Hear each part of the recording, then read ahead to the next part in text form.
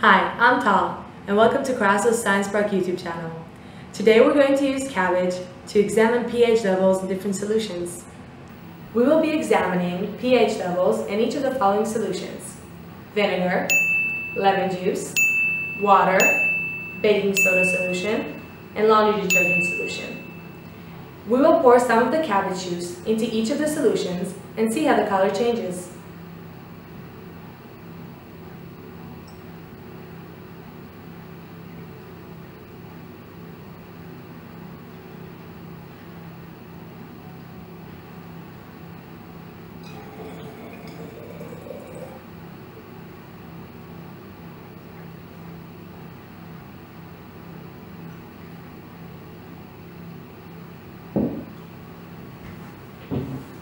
We see that the redder the solution is, the more acidic it is.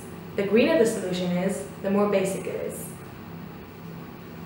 Thank you for watching.